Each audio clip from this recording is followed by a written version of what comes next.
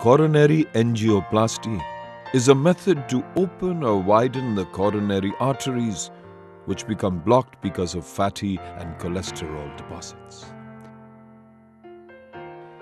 During this procedure, a small cut is made at the groin or wrist, and after numbing that area by application of local anesthesia,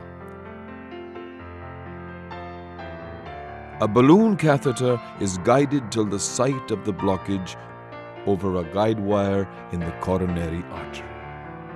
The balloon is then inflated and deflated until the blocked artery opens. To keep it open for a longer time, a metal scaffolding known as a stent, which is mounted on a balloon catheter, is placed inside the heart. In some cases, these stents have medication on them which helps keep the arteries open for a prolonged period. So, this is how angioplasty enables proper blood flow through the artery, restoring the circulation to the heart.